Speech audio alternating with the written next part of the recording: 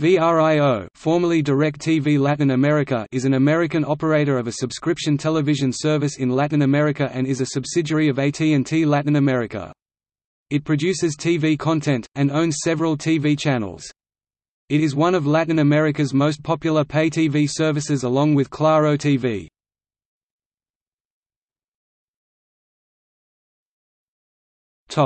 History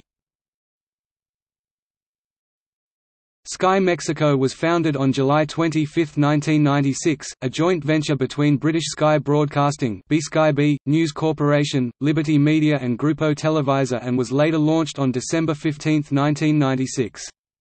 By May 2000, the company had extended throughout the rest of Latin America, launching in Central America, Argentina, Brazil and Colombia but during Argentina's economic crisis, on July 10, 2002, with over 52,000 subscribers, Sky Argentina ceased all operations.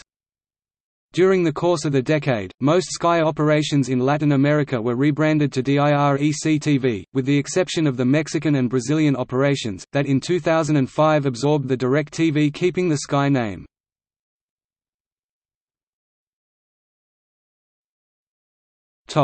DirecTV Chile The Chilean subsidiary of VRIO, which is a television system broadcast through satellite, which has operated in the country since 1994. DirecTV bought Sky Chile and renamed it DirecTV. It signed an agreement with GTD Manquehue to offer full telephone, television, and Internet services throughout the country. During the second quarter of 2011, the company was positioned as the second fastest growing pay TV company in Chile, registering 23.8% of the total market. In 2012, the company led the pay TV market with an 18.7% market share. Between 2012 and 2015, DirecTV Chile received the Consumer Loyalty Award NPS. Between December 2012 and March 2013, the company was consolidated as the first paid television company that has grown the most in the country. Between 2011 and 2016, DirecTV Chile received the National Customer Satisfaction Award Procalidad as the best pay TV service. In 2012, it made an agreement with Club Deportivo Universidad Católica to carry the brand name DirecTV on their jerseys. In 2015, it made an agreement with Colo Colo to also carry the DirecTV logo. 2012 Club Deportivo Universidad Católica. 2014 Liga Nacional de Basketball de Chile.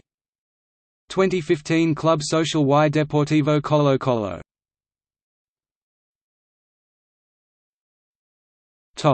Illegal placement of advertisement On January 19, 2016, the Secretary of Environment of Bogotá, sanctioned DirecTV Colombian subsidiary, DirecTV Colombia Ltda., with a sum of $118 million for placing advertisement without the proper permission from the city. The company violated Decree 959, of the year 2000, that regulates where companies can place public publicity.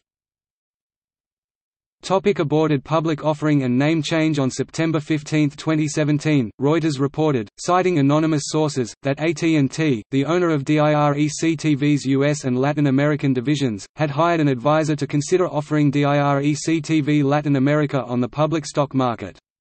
The principal motive was cited as the need to reduce the debt load AT&T would assume if it took over Time Warner as planned.